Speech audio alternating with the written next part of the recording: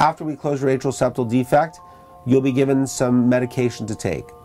And you may be given aspirin alone, a baby aspirin, 81 milligrams, or aspirin and another medication called clopidogrel or Plavix. Your doctor will decide what the best combination of medications is for you.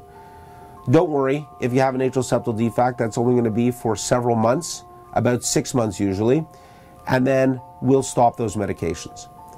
Also, after you have your atrial septal defect closed, we will ask you to take antibiotics if you go to the dentist's office. And the reason we do this is because of the very, very rare possibility that a device can become infected from uh, an infected tooth or uh, from a dental cleaning where the gums are instrumented with uh, the equipment uh, from the dentist.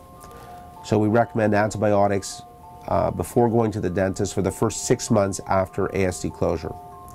In terms of your activities, we want people to have full activities, but we'd like you to give it about a week to allow the punctures in the leg where we go into the vein to heal so there's no bleeding.